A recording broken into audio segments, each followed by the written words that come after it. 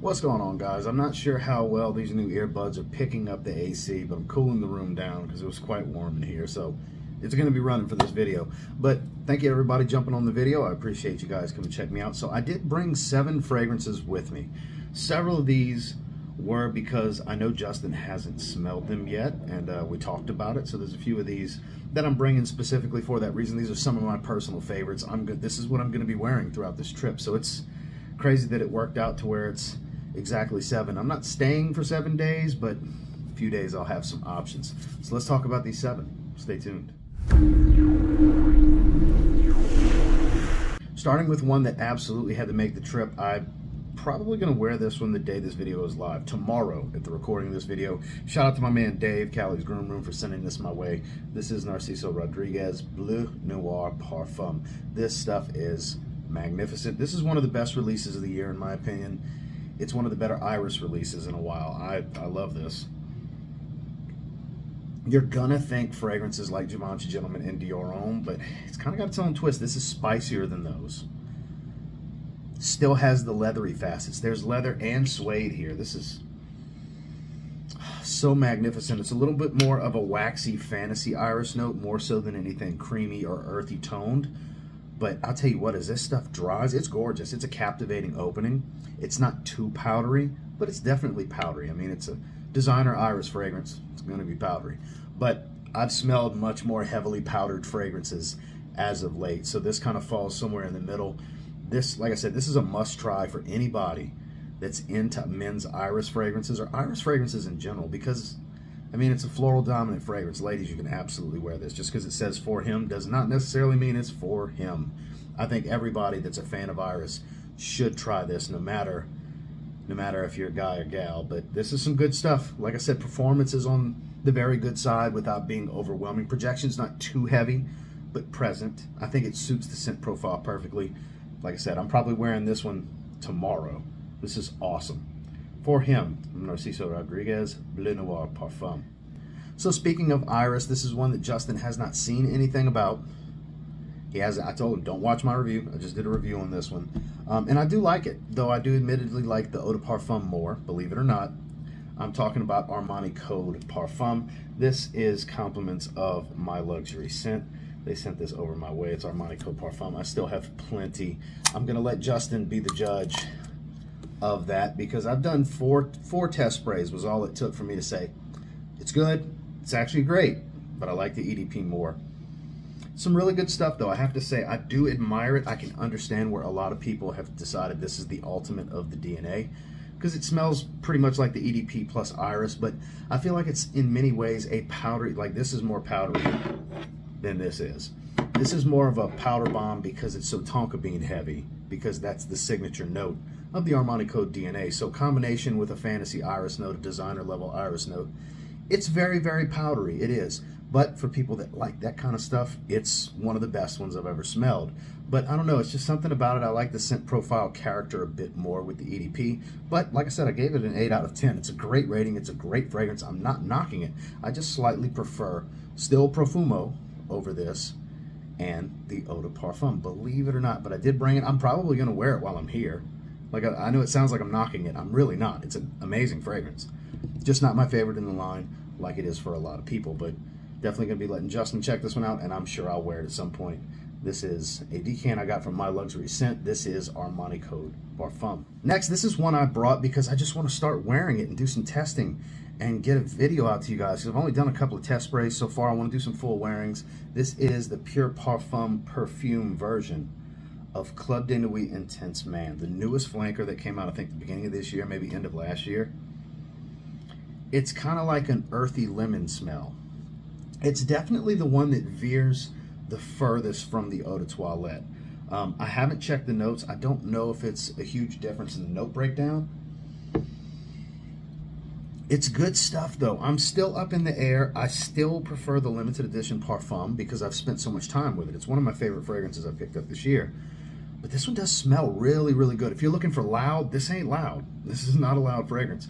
But it's so much smooth. It's the smoothest of the group, but it's also the most earthy green, kind of almost dirty take on the scent profile because it's still smoky. You still get a lot of the lemon, but it's more of a thick candied lemon than any of the other ones I've smelled. The only one I haven't smelled at this point is the pure oil with the dabber and the original EDP. Because I know the limited edition parfum is pretty much just another take on the EDP. But this is really good stuff, I have to say. Full review coming. I got to spend some more time with it. But I brought it so I can wear it, so I can rock it, so I can test it basically. It's 150 ml. I don't think I'll ever run out of this. But I'm a fan of this fragrance. I know it's polarizing. Some people hate it, think it smells super cheap and terrible. I get it. It does smell cheap. But as you go up in oil concentration, it does get better and better. And this is proof of that. This is Club Nuit Intense Man from Armaf. This is the Pure Parfum Perfume Edition. Next, this is in the, the next three actually are ones that I brought specifically for Justin, but the three of my personal favorites that I am definitely going to wear. He has not tried Intense Cedrat Boise from Mancera yet. And I feel like anybody that has any form of appreciation for the original should at least try this and experience it because is it redundant to have the original? Yeah, it is. But this is richer, warmer, spicier, more animalic, more leather forward. There's a little bit of Cambodian oud here. And it's a ridiculous 40% oil concentration. Performance is outrageous on this one. The sillage and the longevity are ridiculous. Projection's not super heavy and super far out pushing, but it's a thick cloud around you. I go anosmic to this one pretty quickly because it's so strong, but it is an awesome fragrance nonetheless. One that I, I am definitely going to wear while I'm here, but I definitely brought so Justin can check it out and see if it's something that he may need to add to his collection. I don't know, but if you haven't tried it yet, guys, definitely get a sample and try this one. Even if you have the original, I'm not saying you need to get that if get this if you have the original, but it's at least worth the experience. It's good stuff. Intense Cedrat Boise from Mancera. Next is a brand new release from Eight Bob from their Les Extraits collection. The Extraits, obviously. Uh, Les Extraits. So I just started testing this. I actually have it on my hand. Um, I was saving it for this trip because it's a special trip. I mean, we're packing orders for Zed Creators too. And uh, you like to tie scent, certain scents to certain memories. And I'm kind of blown away by this.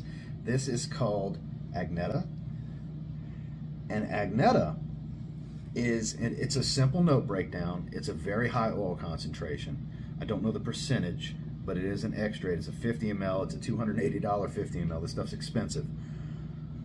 This fragrance, it was sent to me by Twisted Lily, obviously, um, for review. And I, I, got their two newest ones. This one I've smelled so far, and this one's blowing me away. It's Oud Coffee Amber, Woods, and Cardamom used from the highest quality raw materials. Like the, I read the explanation, it's actually in the, the box top for this. Let me grab it to show you guys. Like I'm, I'm floored by this. This is the box. There's an outer sleeve that comes with it, but there's an explanation of everything right in here. Reflects the most pristine and precious form of perfumery, an ode to the purest, purest and most exclusive raw materials created to elevate the perfume to a level of the warmest sensations a unique identity that reflects the desire for the sublime. I gotta tell you, I'm, I'm floored by this fragrance. I'm floored by this fragrance. You get this spicy cardamom feel. The oud, the oud doesn't really have a funkiness to it. It smells like a more precious oud. Like it's definitely not some cheap ass oud oil that's used in here. You can tell. It smells very expensive. It is very expensive. And it smells that way. I get a lot of woods, warm, rich, spicy amber feel. The coffee's not overdone. I wouldn't even call this a coffee fragrance, but you can smell it. There's a little bit of this roasted coffee bean smell, just kind of hovering in the backdrop. Like I said, it's not an, an explicitly long note breakdown, but you pretty much get kind of everything that's in the notes. Like it's cedarwood and sandalwood, and I don't necessarily get much of either one other than a woody based smell with amber. Cedarwood, sandalwood, amber is the base. Oud and coffee's the heart. Cardamom, and I forgot what else is the top. It's not much. It might be like a citrus or something like that. But you smell pretty much all of that. Like I said, I'm kind of floored by this one. It's so good. Thick, robust, rich, dark, almost gourmandish in some ways because of the cardamom and the coffee. But it's not too much of either. Very good blend here to where it all melds together almost in complete unison. Nice harmony together, but you're still able to pick out the different facets of the fragrance. It's, like I said, gorgeous. I'm so glad I brought this one. I, I sprayed both of them before I left and brought what I thought was the better of the two. This is magnificent. Eight and Bob Agneta. Now another one that I brought specifically for Justin, and I haven't worn it in a while. A lot of you know, just as I am, he's a fan of Tommy by Tommy Hilfiger. So I brought Fougères Marine from Montale. He's never smelled it before. Now, it's not one-to-one -one with Tommy. It's not a direct, like, this is niche Tommy. It's as close as it's going to get to niche Tommy. Uh, this one has a nice freshwater feel to it. A lot of oak moss that gives this spicy green tone, this fresh spicy green feel that you will relate to, this clean musk and everything. You'll relate it to Tommy.